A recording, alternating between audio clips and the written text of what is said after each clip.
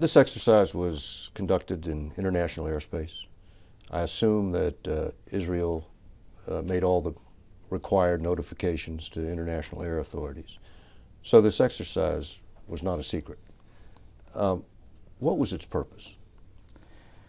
Well, uh, I wouldn't get into any specifics of any given exercise. The IDF is uh, training uh, regularly for uh, different uh, eventualities and uh, to meet different threats.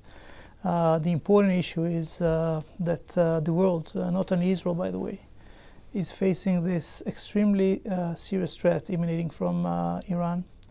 This potential combination of a fanatic regime, largest export of, exporter of terror, uh, worldwide with the fingerprints in almost every place that uh, terror is uh, active uh, in the world, with the potential of having a nuclear weapon in their hands, uh, could uh, mean that our children would be living in a different world. It's not as if Israel doesn't have a fairly impressive track record against nuclear programs. Why do you think you're having so much trouble getting the world to listen to you? or getting, actually, let me ask you this, why, why do you think you're having so much trouble getting Iran to listen to you? Well, Iran uh, would, uh, we believe, we hope, uh, listen to the world. And I think that uh, your question is why is it so difficult to get enough in the world to listen is, uh, is a key question. And we uh, support in every way we can the efforts of this country, of the United States of America, to get other countries in the world to cooperate. You say the window for diplomatic action is closing. How much time is there? Less today than we had yesterday.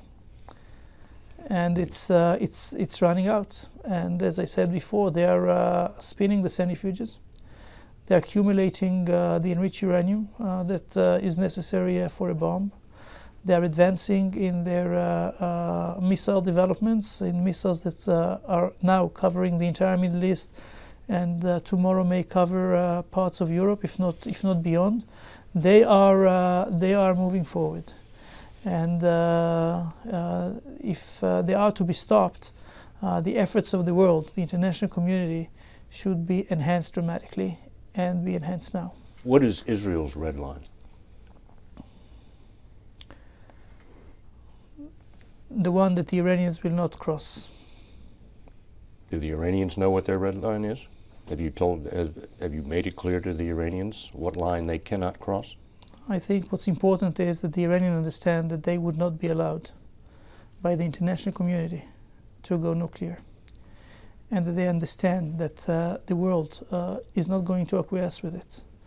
Because uh, we should have learned our lessons uh, from previous uh, times when you had regimes, uh, totalitarian, committed to expand their hegemony regionally, who were uh, uh, confronting world order.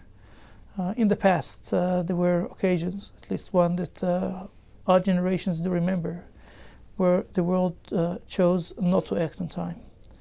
And when the world reacted, it was very late, and I'd say from a Jewish perspective, after or uh, not in a time that was possible or, or enough to save the lives of six million Jews. So we hope that this time the world uh, will get their act together on time, and the on time is now.